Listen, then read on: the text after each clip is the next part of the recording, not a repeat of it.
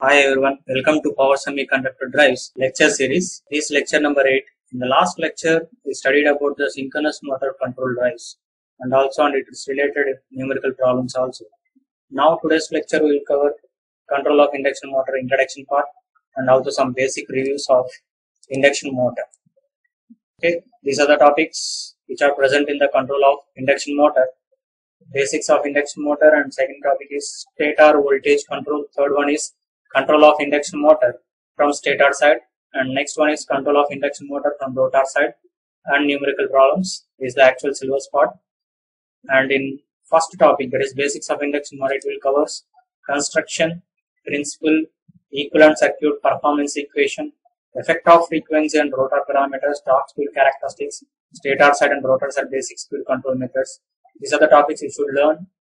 Compulsorily you should recollect all these topics from the missions subject this uh, lecture also will cover these basic topics. Okay next topic is stator voltage control. Here it covers the ac voltage control. That is all about the ac voltage control only. How the ac voltage control will applicable for ac motors and how the closed loop operation works and also four quadrant operation and four quadrant operation of ac voltage controller and also some numerical problems. And next topic is Next one is control of induction motor parameters from control of speed of an induction motor from stator side. It consists of these topics that is stator frequency control. Next one, second one is VSI fed induction motor. Next one is CSI fed induction motor. And next one is closed loop operation of induction motor drives. And next one is cycloconverter fed induction motor. And next topic is principles of vector control and numerical problems based on this. All these topics covers only the stator side speed control methods of an induction motor. The next topic will comes under rotor side that is rotor side control of induction motor from rotor side. These are the controlling methods for rotor side. Basically it is applicable for SRIM that is SRIM is nothing but slip ring induction motor. So for that we have control methods static rotor resistance control and next one is slip power recovery and next one is numerical problems. These are the actual topics in our syllabus we should cover all these topics in the control of induction motor drives. Now we'll go for the first one that is basics of induction motor. We will recollect all the basics fundamentals which we learn from mission subject. Here we are not in depth analyzing the concepts just we are recollecting the concepts which we studied in your missions. Okay let's move on to this one basically industrial drives are basically classified into two types. Uh, first one is constant speed drives. Next one is variable speed drives. For variable speed drives we are using dc drives. For constant speed drive applications we are maximum we are using ac ac drives only ac drives only.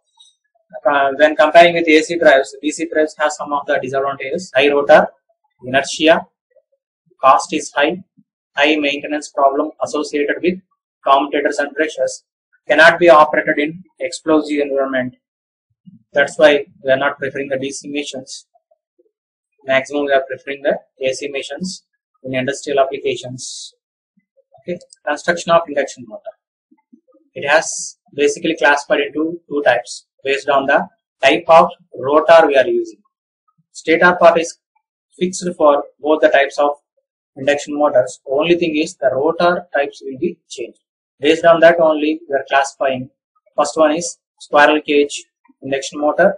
Next one is slip ring. Here we have you can observe the slip rings also. This is nothing but a slip ring induction motor or you can say wound rotors. This is a squirrel cage induction motor. Here the all the all the rotor bars are placed here with some skewing. Skewing will eliminate the noise, hissing noise in the motor while running. Okay, so and also we have this type of symbol that is nothing but this nothing but the end rings. All the rotor bars are connected and short circuited with an end rings. This is the end ring symbol. This is nothing but the slip ring. Another one is slip ring induction motor or wound rotor. We have connected here the slip rings and the resistance also here external resistance we can connect. That means we can operate the speed of the machine by using the external resistance in the rotor side. Okay, that is one of the method we have to control this speed of the induction motor. And this one is the stator part for both both types of induction motor, there is no change in the stator part.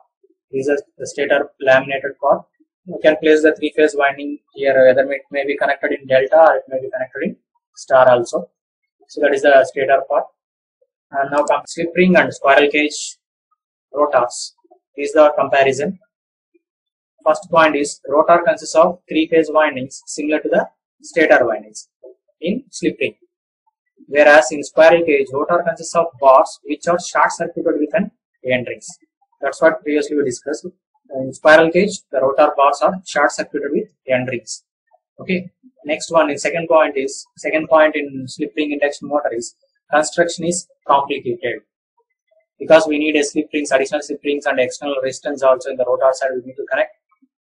Uh, whereas in squirrel cage we have it has very simple construction when comparing with this slip ring. The next one is resistance can be added externally to the slip rings.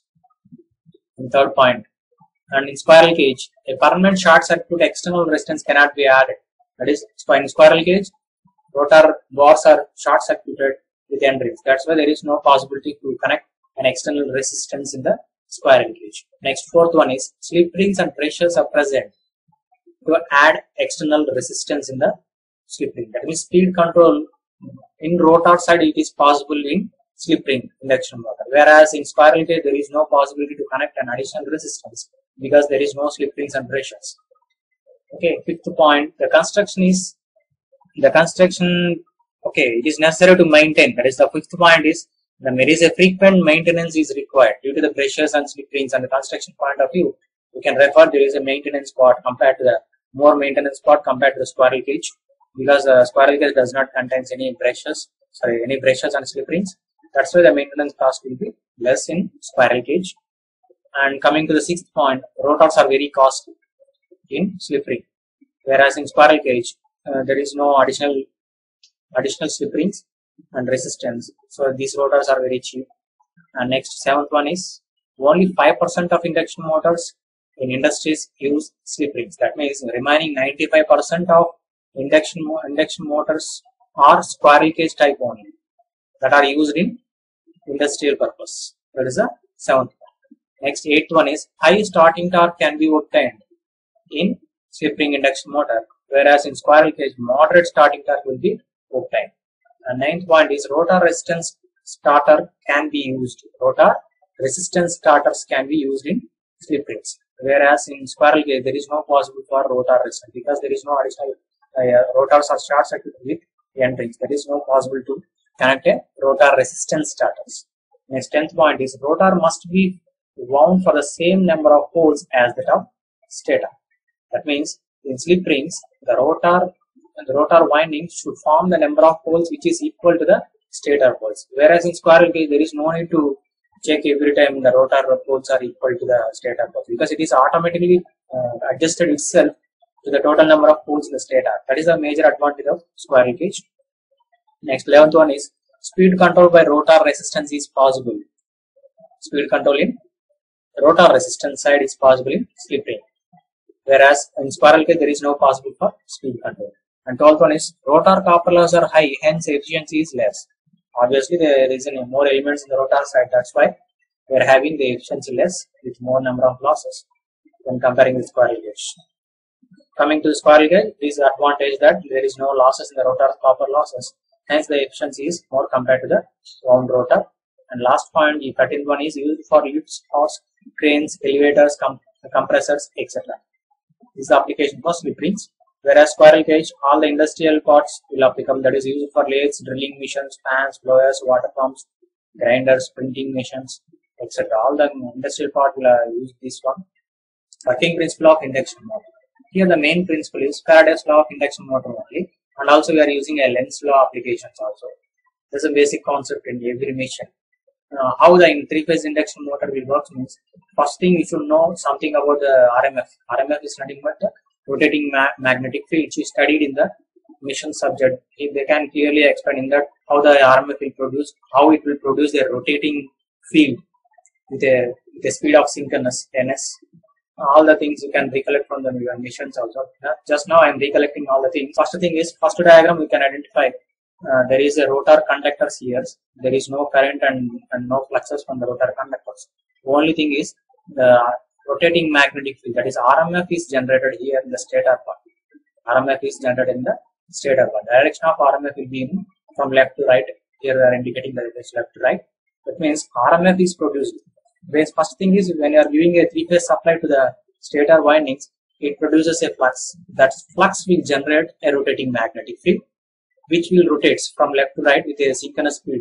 Ns is equal to 120 F by 2. With that, with that rotating flux, in the second diagram we can identify there is an induced current in the rotors due to the rotating flux. The fluxes will cut the conductor. Obviously, it will induce a current in the current in the rotor conductors because the rotor conductors are short circuited with the end rings. So compulsory there will be a possibility to flow of current. So that's why the current will flow in the second diagram. We are indicating that there is a current is flow in the rotor conductors. With that flow of conductor, flow of current in the rotor conductors, there is a possible of magnetic field. That magnetic field can, you can see in the third diagram. The magnetic field. The rotor will produces a magnetic field. Fluxes will generate. Uh, fluxes will generate in the rotor. Here, the both the stator and the third diagram, can observe that both the stator and rotor has the fluxes.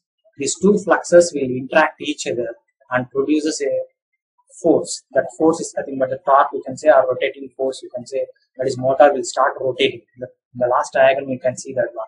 The interaction of stator and rotor poles will generate a force. So that is the force generation, that is the motor rotation. How the machine will works. Briefly, I am explaining with these diagrams only. Here we have to recollect one more thing is NS is 120 F and one more point is there is a relative speed between both the stator and rotor rotation speeds. Stator fluxes will rotate with ns that is synchronous speed whereas rotor rotates with n. Here I am indicating with n. So there is a relative speed between stator fluxes and rotor rotation that is ns minus n. Relative speed or can say, say slip speed. In terms of percentage, percentage slip is nothing but ns minus n by ns into 100. This is the percentage slip in induction motor. So you should recollect these points. And also there is a possible here, you can clearly observe N, N, ns is nothing but 120 f by p. That means we can control the speed. That is n is nothing but, and also we have to recollect one of the important point in our some semiconductor point of view. How to control the speed of the mission here we are uh, control here we want to control the speed of the mission that means n should vary n should variable means there is a possibility to change this n value that is a rotor speed by using ns or by using slip also we can change the speed of the mission that means by using by varying the parameter ns we can change the speed of the mission and also by changing the slip you can change the you can control the speed of the mission that means ns is nothing but again we have ns is nothing but 120 f by p. For changing ns, there is a parameters which we can change. That is frequency. By changing the frequency, we can change the ns also, and also by changing the number of poles, there is a possibility to change ns. That means we have three types of basically from this uh, formula point of view, you can refer. There is three possibilities of speed control methods. Uh, first one is by using by changing the frequency supply frequency and next one is by changing the number of poles and third one is by changing the slip you can control the speed of the induction motor also and one more parameter also there by changing the input supply that is stator supply also we can change the speed of the induction motor these are all the things in the we will study in the next coming upcoming lectures also. Okay we'll move on to the next one. That is here there is a relative speed between stator and rotor. That's why we are getting a slip speed. Or slip term will occur due to the difference in the stator and rotor. Okay, what happens if uh, both the speeds are equal? What happens when stator ns and n, that is both the stator speed and the rotor speeds are equal, then there is no relative change between these two. There is there is no possible to develop a torque or there is no possible to develop a uh, force here. That's why there is no possible rotation of the machine obviously the rotor will stop rotating. This is the flow chart of induction motor operation. If the induction motor rotor were turning at synchronous speed, that is when n is equal to ns, then there is no relative magnetic field between these two bars, two stator and rotors, and there is no possible for induced voltages, and there is no rotor current, and there is no ro rotor magnetic field, there is no induced torque. That's why rotor will slow down due to friction. This is the main problem here. That means when the machines when the machine rotates with synchronous speed, then this is the causes the rotor will slow down. Rotor will automatically slow down, whereas the stator supply will rotate with synchronous speed. That means there is a maintenance between the relative speed. Automatically it will maintain the relative speed between stator and rotor parts. That is NS and EN. And coming to the next one, effect of slip on rotor parameters. Effect of slip on rotor parameters. What are the effects of slip? Due to slip, we have the effects in rotor side. These are the effects. This part there is a derivation in each and every point. You can refer in your missions subject. First one is rotor frequency. Due to the slip only, the rotor frequency is changed to S times of supply frequency. And rotor induced EMF. Rotor also has induced EMF. That induced EMF is S times of stator induced EMF. And third point is rotor reactance is also S times of stator reactance. And impedance in the rotor is nothing but R2 plus X S2R. Here we can clearly observe that there is no change in R. Um, before uh, before the slip, after the slip consideration also, there is no effect. Slip has no effect in the resistance of the rotor here. That's why Z2R is nothing but R2 plus X2R. And next point is rotor power factor is cos pi 2R is nothing but R2 by Z2R. That is a power factor. From the power factor, there is a, a impedance triangle. You can clearly get this formula impedance triangle. With that uh, impedance triangle, we can easily get the power factor also. R2 by Z2R and rotor current. Rotor current because here the impedance and uh, induced EMF are changed. That's why the rotor current is also changed. I2R is nothing but E2R by Z2R. This is the rotor effects of slip on rotor parameters. And coming to the relation of powers in the rotor side, that is rotor has an input power. That input power is rotor has an input power. That input power is nothing but the air gap power. And rotor has an output power that is nothing but mechanical output power. And P2 is nothing but rotor copper losses. P2 is nothing but rotor copper losses. That's the relation between 1 is to 1 minus S is to S. Or you can remember in your missions you studied like this. This P2 is interchanged here. that is a rotor input, rotor copper losses, and next one is mechanical, that is output power from uh, the rotor. Then the relation will be 1 is to S is to 1 minus S. Okay, here I am representing like uh, quite opposite to that. Input rotor power, output rotor power, now the rotor copper loss. Then the relation will be 1 is to 1 minus S is to S. Next, internal efficiency, that is a in rotor side only if you consider rotor output is mechanical rotor input is air gap power then the relation will be 1 minus s that means the internal rotor efficiency will depends on the slip value lower the slip higher the induction motor efficiency that means that from this relation you can justify if a slip value is less then the efficiency will automatically rotor efficiency will automatically increases that's the relation they are putting here uh, next one is torque slip characteristics. This is very important in speed control methods because in power semiconductor drives we need a four quadrant operation. That means the machine should run as a motor as well as a generator and also there should be uh, should operate in the braking mode also. That's why the torque speed characteristics of induction motor is very important. You should recollect from your machine's subject also. But I, for your understanding purpose, I am considering the simple torque speed characteristics of induction motor. With this diagram, you can clearly recollect all your basic fundamentals. Okay, okay. see here, uh, y-axis contains a torque and x-axis has two types of parameters. If you consider clearly, if you observe clearly, x-axis has slip and speed. Both are different. That means slip will be uh, opposite to the speed. If you consider the horizon, horizon has zero speed. At that zero speed, the slip value is 1. Okay, Next one is if you consider the speed of speed will be ns synchronous speed, then slip is zero. That's a quite opposite relation. And here the last one uh, two times of ns. Okay, and here the region from zero to ns or from slip point of view zero to one.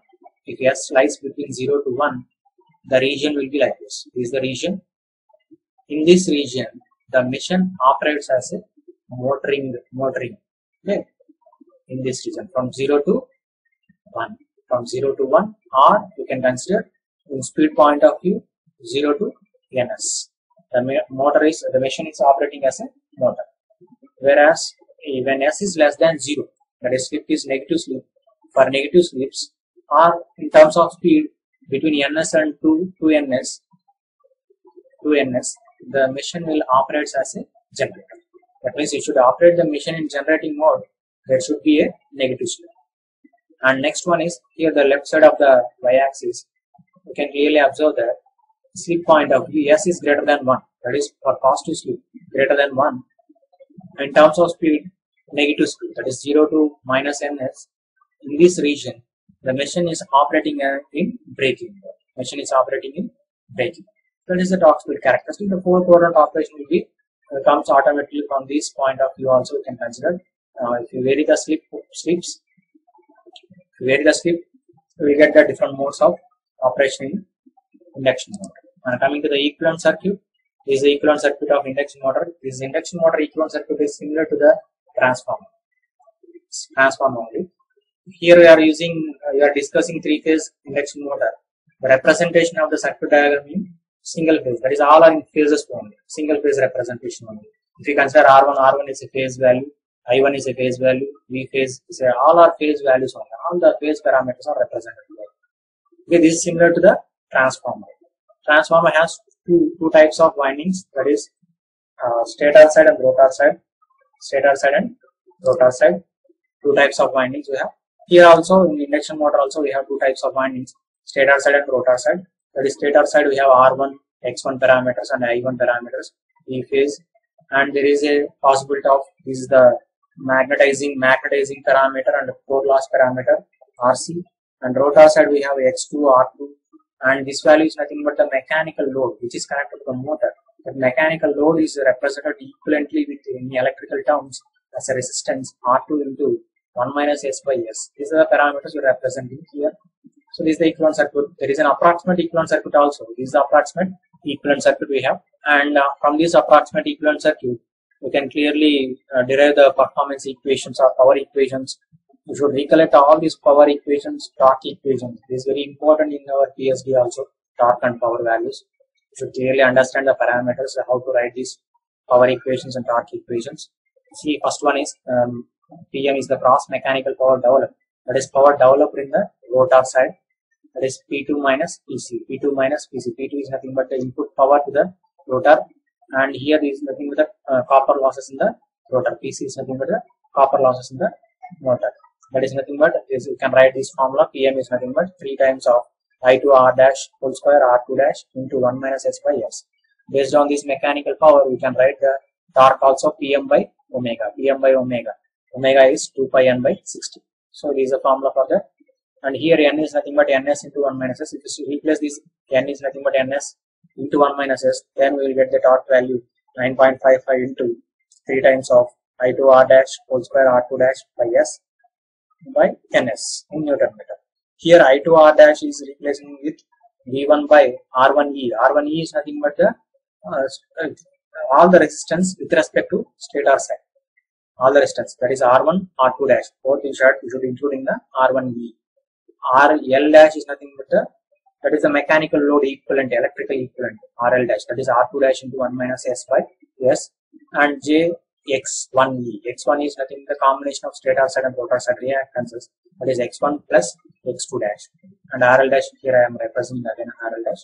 Then I2R dash is nothing but this is the equation, you can recollect.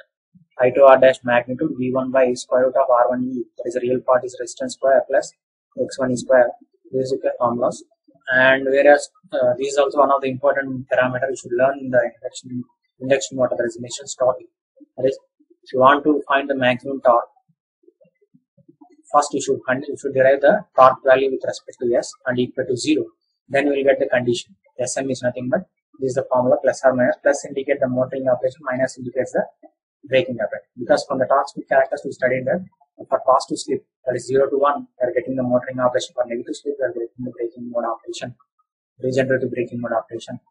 And by substituting this sm in the torque equation we get the maximum torque equation.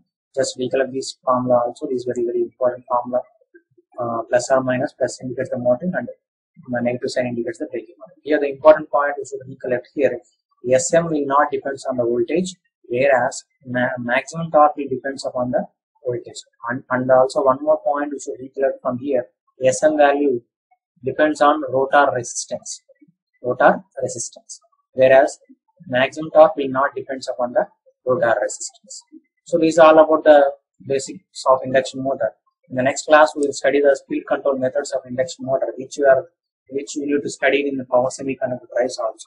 That is uh, based upon the changing the frequency by changing the poles and also by changing the supply voltage